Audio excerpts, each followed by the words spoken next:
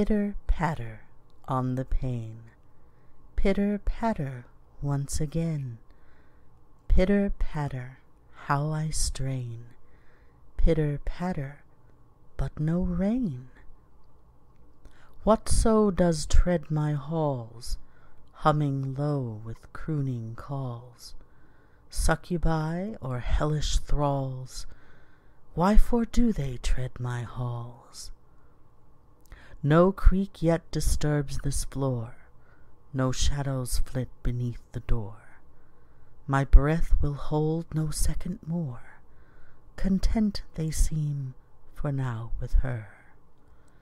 So frail and failed the loosened cry, Harsh and drawn the deadened thud, And now nil remains but I, A lowly pawn amidst the blood.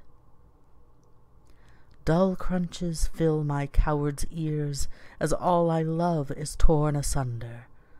What use have I for earthly fears? What frightens now in rolling thunder? Pray I the stairs avoid their gaze, I pray my whimpers pass them by.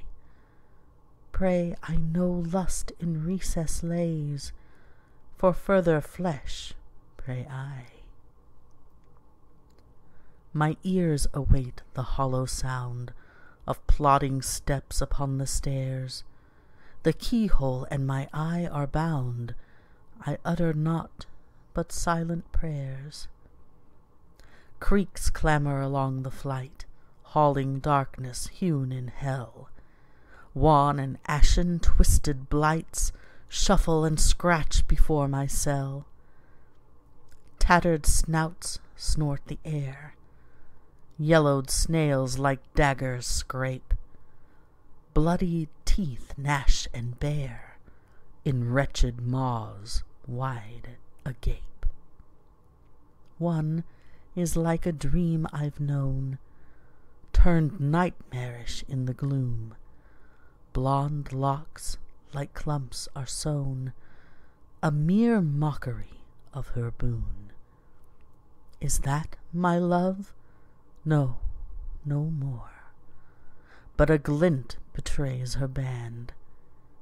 I know each mark and every score, For I placed it on her hand.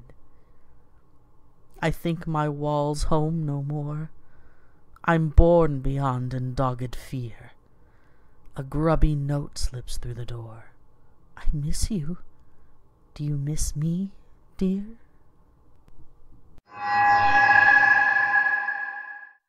You have been listening to Pitter Patter by Phillip Courtney.